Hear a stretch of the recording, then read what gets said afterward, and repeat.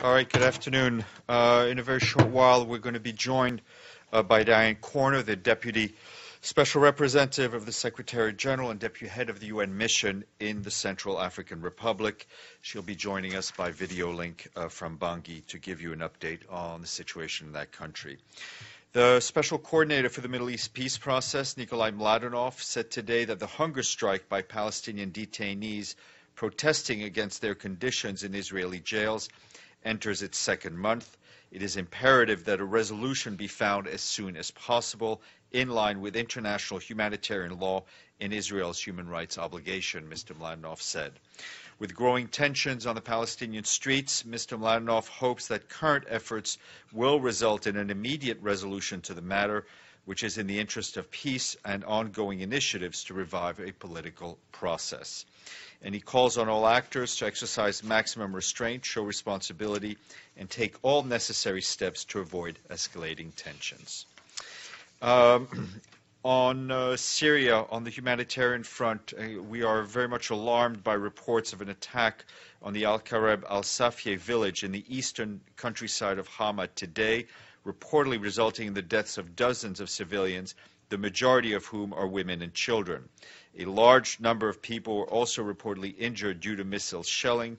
In addition to the people killed and injured, several people are reportedly missing and believed to have been kidnapped. We do not have further information at this time on the incident or who may be responsible. And uh, the special uh, envoy for Syria, Staffan de Mistura, continues to uh, facilitate the talks in uh, Geneva.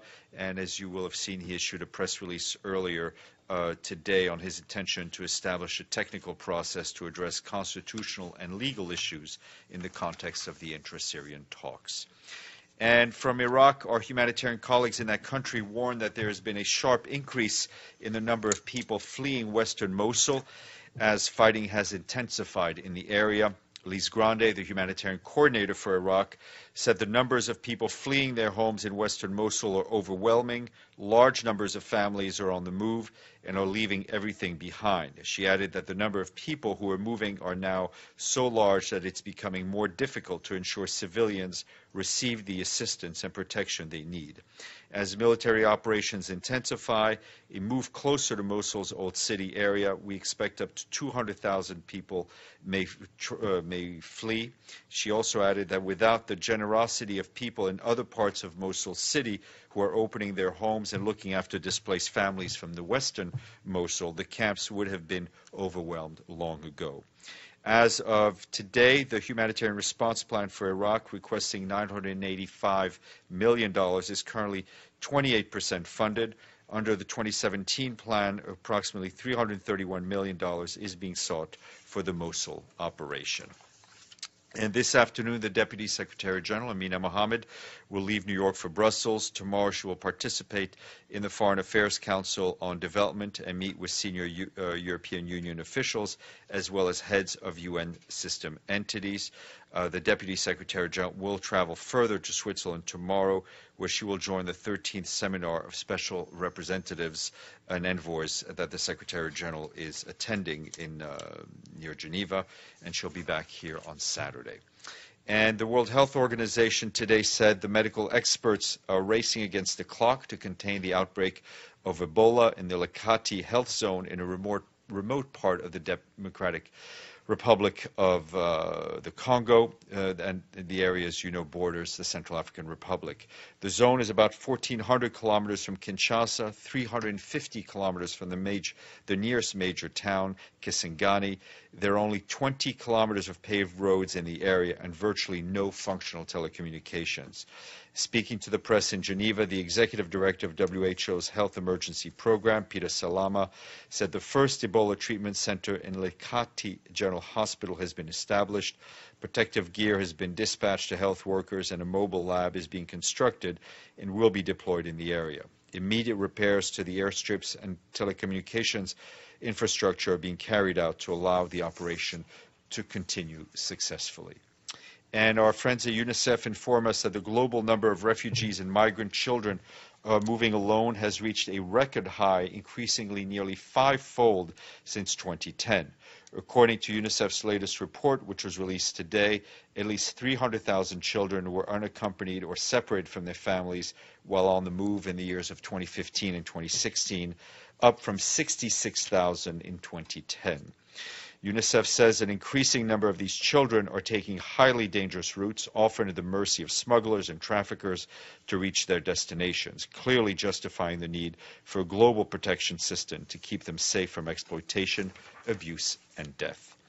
And our colleagues at the World Meteorological Organization have issued a report ranking the deadliest weather events, such as cyclones, tornadoes, lightning, and hailstorms. Cyclones top the list of the deadliest weather event, and with the deadliest cyclone being a tropical cyclone that hit Bangladesh in 1970, which killed 300,000 people. Tornadoes come in second, followed by lightning strikes and hailstorms. This is the first time that WMO is highlighting the impact of specific weather events, and the agency says it is doing so to raise awareness of the impacts of climate change and the need to increase resilience measures. More detail WMO. And today, uh, two countries, Barbados and Indonesia, have taken us over the century mark. So we are now, the honor roll is now at 101. We thank them both. And before we go to Ms. Uh, Corner, I'll take some questions. Matthew. Sure, thanks a lot. I want to ask about Burundi and, and WIPO. Uh, in, in, in Burundi, there's uh, been uh, grenade attacks followed by mass arrests in this Musaga neighborhood, which is one of the most uh, uh, involved in protests against the government. So, give, particularly given the mass arrests, I'm just wondering. I'd, I'd, asked you before a couple of Burundi questions. Has Mr. Kafando begun his work yet? And if so, what does he say about these developments? Uh, I don't have an update on Burundi, but I'll see what I can get. From you. And on, I, okay, uh, if you could, on, on, on the World Intellectual Property mm-hmm. Organization and its its patent work in North mm-hmm. Korea.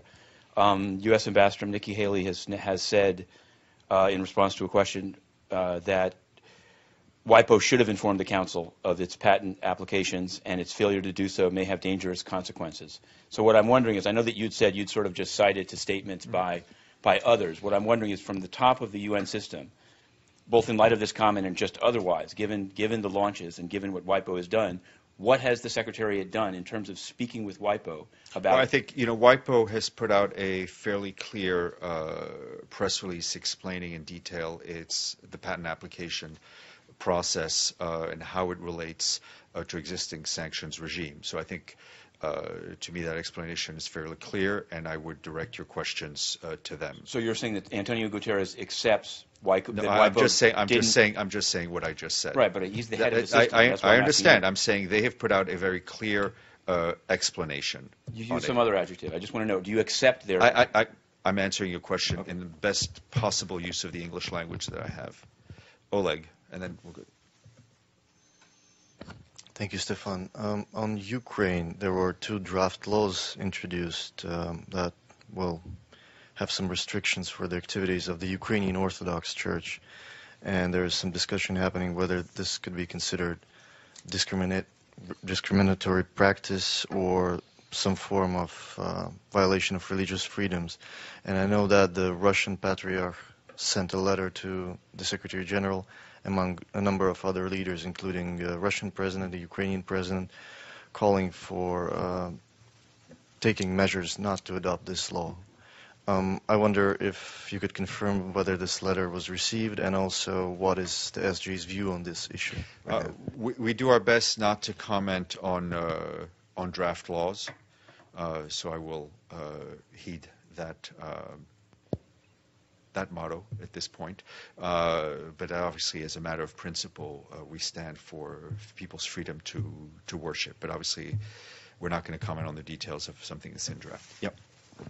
Um, Stefan, why took uh, Mr. Mladenov so long to issue a statement? Was it for the fact that uh, people on the ground in Ramallah and other places in Palestine accused, blocked the UN entrances and accused it of collaborating or being silent on what's happening? I, I, don't think the, the UN has been silent. I think we've said from this podium right from the start that this was an issue uh, being looked at from the UN and from uh, the Office of the High Commissioner for Human uh, Human Rights, and we've been flagging that uh, repeatedly. I think in his own statement, Mr. Mladenov acknowledged uh, the uh, the tensions uh, that exist in the Palestinian uh, amongst Palestinian civilians uh, as a result of the ongoing uh, on the ongoing hunger strike. I have a follow-up. Yeah. But it took him like 30, more than 30 days to issue such a statement. I think And Mr. follow- Mladenov spoke out when he felt uh, it was the right moment to speak Is there somebody, did the UN request to enter the Israeli uh, prisons and to meet with the hunger out. Uh, Palestinian that would be something uh, you would have to ask for uh, human rights uh, colleagues. Yes, Carol. Stefan, I wanted to ask about the Venezuelan opposition leader who's supposed to meet with the Human Rights Commissioner, but apparently he's not been allowed to leave the country. Um, I don't know. I I heard that there may be such a meeting. I'll uh, just before I came in, I'll follow up and see what the situation is. Edie.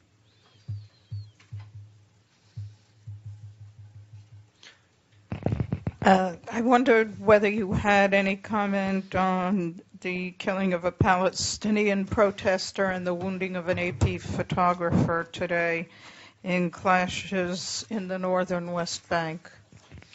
Uh, yes, I've seen. Um, I have seen those uh, those those reports, and I know Mr. Mladenov uh, condemns the reported killing of a Palestinian by an Israeli settler and the wounding of a photographer in the occupied West Bank. Mr. Mladenov added that this deplorable incident must be promptly and thoroughly investigated, and those responsible uh, prosecuted. Carol, then we'll go to Matthew, then we'll go to our guest. actually, it was a request. Next week, the Secretary General is having his luncheon with the Security Council. Could he come to speak to us afterwards? We will place have that request. many questions, You do, million questions. indeed. Matthew. Sure. I want to ask you um, uh, about uh, UN security. Uh, Inner City Press has published a, a, a, a memo to to Mr. Peter Drennan, the head of DSS, basically in which it's alleged that Mr. Drennan buried a report of death threats against Irina Bokova. That that the, that a, a DSS contingent was sent to write such a report. There, the, the, the, the, the report, the, the, the person writing the report citing a fear of retaliation, has has cited the Baghdad and Algiers previous attacks and has said that Mr. Drennan buried the report in part for personal political reasons in case Ms. Bokova became SG. And I think it's it's a pretty serious. I, I have, I have, uh, I'm not going to comment on. He's on re- he's something. responded I, I, to I'm it, saying so- I, I have not going to comment on something I haven't seen. So Can you get a comment If I learn of something, I will. I will. I always do things as soon as I can.